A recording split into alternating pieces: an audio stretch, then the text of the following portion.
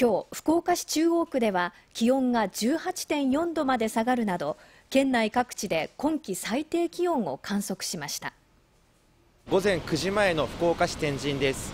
手元の温度計は21.7度を指していて雨の影響もあってか少し肌寒く感じます。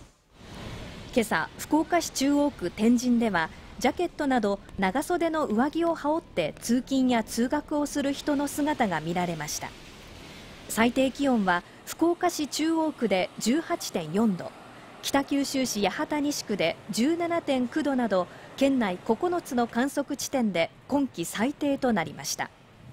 福岡市では前日の真夏日から一転今日の日中の最高気温は21度の予想です。思ったより寒かったなとは思いますね。